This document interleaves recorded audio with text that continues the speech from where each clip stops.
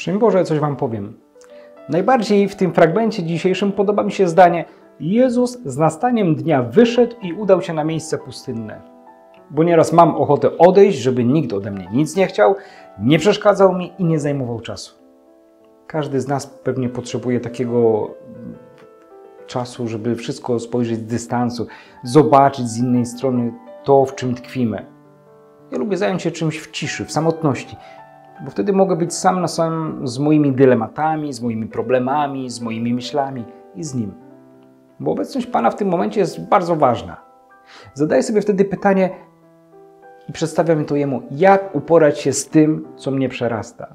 Jak działać, żeby swoim zachowaniem czy czynem nie wyrządzić krzywdy.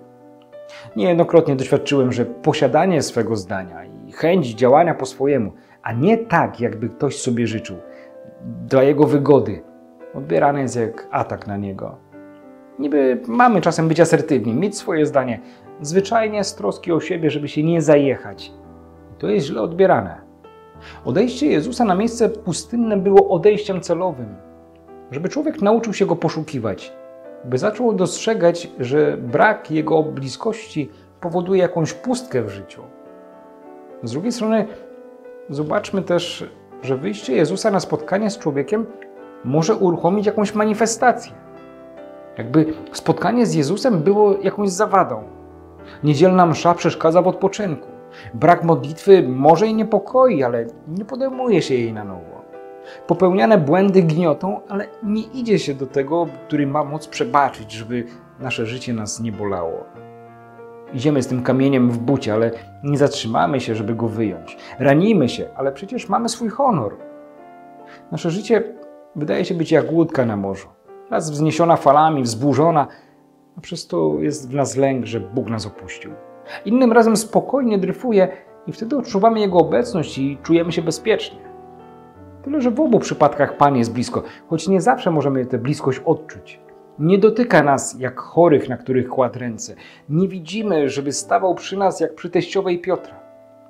Kiedy nie doświadczamy tej bliskości, to musimy wrócić do chwili, kiedy wcześniej była ona wyraźna. Trzeba odwołać się do naszej wiary, która wtedy była mocna. Dlaczego więc teraz osłabła? Nie cuda są najważniejsze, ale słuchanie tego, co Jezus do nas mówi. Cuda się znudzą, a wskazówki do dobrego życia są ciągle aktualne, bo Jego słowo nas nieustannie zaskakuje. Jest dynamiczne, jak i Jezus był dynamiczny. Przemieszczał się po całej krainie, przychodził i odchodził. Jednak Jego słowo jest ciągle przy nas. Tego słuchania dobrej nowiny nieustannie potrzebujemy, bo słowo Jego nas leczy. Zobaczmy, że choroba teściowej mogła być okazją, by o niej mówiono.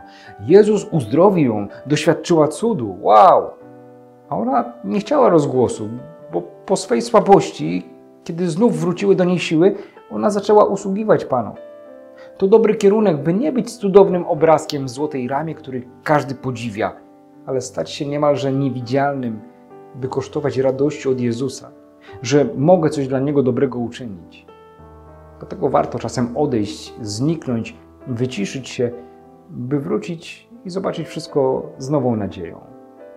Niech Was Bóg błogosławi w imię Ojca i Syna i Ducha Świętego. Amen. Z Panem Bogiem.